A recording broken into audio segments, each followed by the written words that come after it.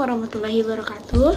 Let me introduce myself. My name is Niken Pratiwi and I'm from 11 Science 1. I'm here to explain about how does snow it happen. This is project from my English teacher. Uh, my teacher wants me and my friends to tell to explain about the phenomenon of social or natural.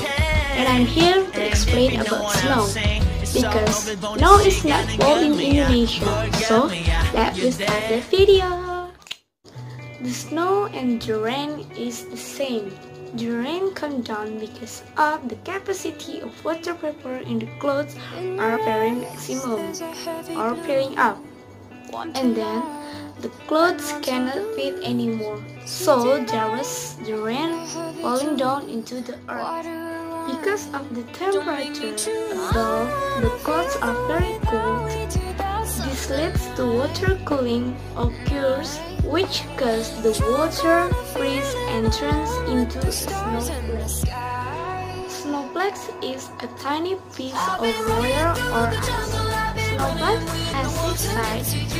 This is makes snowflake so special design. Snowflakes have a very small size, so when we look, when we want to look snowflakes, we must use.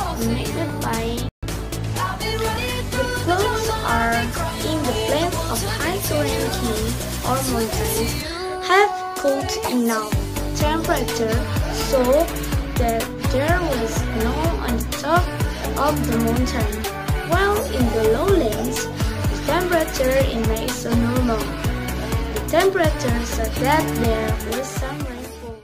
Because why the snow more often down in the highlands and usually high on people often place snow.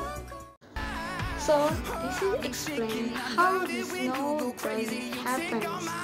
Snow happens because of the cold water in the clothes cannot fit anymore and the water is freeze and into like a snowflakes. Snowflakes is came down into the earth. I hope you enjoyed it and